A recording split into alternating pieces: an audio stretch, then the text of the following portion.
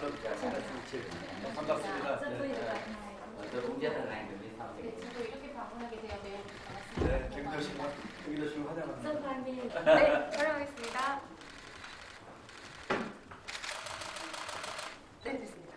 네, 네, 됐습니다. 네, 그냥 선배. 이렇게 같이 찍읍시다. 나 노란 나이비, 요즘 아비타이 좋아한다. 그 태광이 날 소주지, 꽃 đoàn à, công tác của Quốc hội Việt Nam đến Hàn Quốc và lần này thì rất là vi- vinh dự. 어, 매우 영광입니다. 또 이렇게 도지사님 뵙게 돼서 매우 반갑습니다.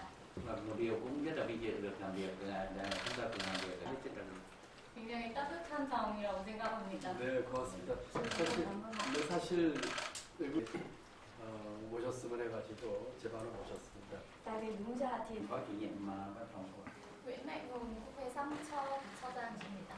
tôi ờ, phát biểu một số vấn đề trong cái quan hệ 저는 어, 베트남과 한국협력 그리고 경기도와 협력에 대해서 말씀 먼저 네. 혹시 드리겠습니다. ý kiến 활동은 베트남과 지금까지 진행해 오는 걸로 알고 있습니다.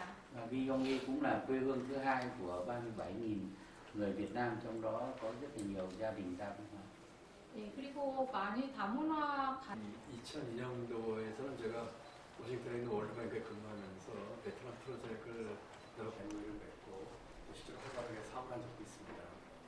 또는 그 대한민국 인구와 경제 산업의 4분의 1이 받고 또 알고 있는 베트남은 어, 국민 평균 연령이 가장 젊은 어, 나라의 그 도시개발 쪽에 있어서 제 경기로는 대한민국에서 가장 경험이 많은 곳입니다.